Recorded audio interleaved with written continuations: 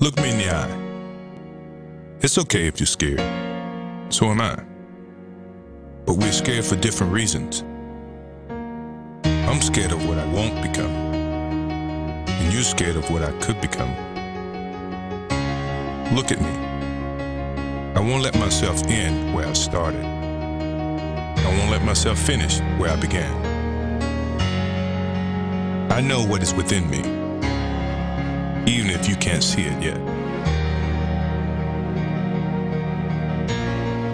Look me in the eyes.